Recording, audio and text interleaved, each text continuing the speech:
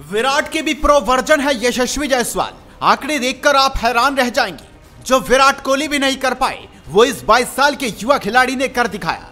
दोहरा शतक जड़ने वाले यशस्वी जायसवाल के मुरीद हो गए अंग्रेज़। करने लगे ऐसा। भारत और इंग्लैंड के बीच खेली जा रही टेस्ट सीरीज़ में भारत के विस्फोटक बल्लेबाज यशस्वी जायसवाल की प्रदर्शन ने पूरी दुनिया को हैरान कर दिया।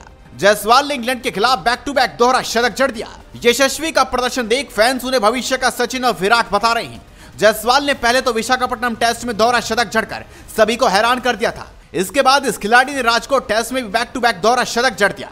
आपको जानकर हैरानी होगी कि जायसवाल ने किंग कोहली को भी कई मायनों में पीछे छोड़ दिया। ऐसे में जायसवाल को कोहली का प्रोवर्जन भी कहा जा सकता है। आपको बता दें कि वर्तमान में सचिन के बाद सबसे अधिक अंतर्राष्ट्रीय शतक विराट कोहली के ही हैं। कोहली ने वनडे क्रिकेट में शतकों का शतक भी लगा दिया। उन्हें शतक वीर के नाम से भी जाना जाता है। कोहली के नाम 80 अंतर्राष्ट्रीय शतक होने के बाद भी यशस्वी जायसवाल के सिर्फ़ तीन शतक कोहली पर भारी पड़ गए।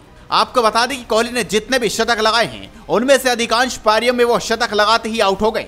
कोहली अगर शतक लगाते हैं तो वो 120 रन तक जाते जाते अपना विकेट गंवा बैठते हैं। कोहली ने टेस्ट में कुल उनतीस शतक लगाए हैं, जिनमें से 11 शतक ये पारी 120 रनों के भीतर की रही। दूसरी ओर यशस्वी ने तीन शतक लगाए हैं और तीनों शतकों को लंबी पारी में तब्दील किया है। जायसवाल ने अपना पहला इंटरनेशनल शतक वेस्टइंडीज के खिलाफ लगाया था। इस मैच में जायसवाल ने एक सौ इकहत्तर रनों की पारी खेली थी। बल्लेबाज ने दूसरा शतक इंग्लैंड के खिलाफ विशाखापट्टनम ने जड़ा था।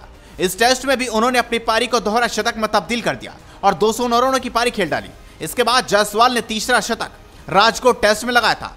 इस मैच में भी इस खिलाड़ी ने 214 रनों की नाबाद पारी खेली। इससे साफ़ है कि जायसवाल शतक लगाने के बाद भी संयम रखकर खेलते हैं और अपनी पारी को और लंबी बनाने की कोशिश करते हैं। इसी कारण से उन्हें कोहली का भी प्रोवर्जन कहा जा रहा है। यशस्वी जायसवाल ने राजकोट टेस्ट में दोहरा शतक लगाने के साथ साथ कई बड़े रिकॉर्ड्स बनाए। वो लगातार दो मैचों में दो दोहरे शतक लगाने वाले बल्लेबाज बन गए हैं। विराट कोहली भी ये कारनामा कर चुके हैं। वो टेस्ट मैच की एक पारी में सबसे अधिक बारह छक्के लगाने वाले बल्लेबाज भी बन गए हैं। वसीम अकरम भी एक टेस्ट पारी में अधिकतम बारह छक्के लगा चुके हैं। इसके अलावा जायसवाल एक टेस्ट सीरीज़ में सबसे अधिक छक्के लगाने वाले बल्लेबाज भी बन गए उन्होंने इस मामले में रोहित शर्मा की बराबरी कर ली, जिन्होंने एक सीरीज़ में बाईस छक्के लगाए थे। तो आप भी इस खबर पर अपनी राय दीजिए, इस खबर को शेयर कीजिए और जुड़े रखिए हेडलाइंस स्पोर्ट्स के साथ।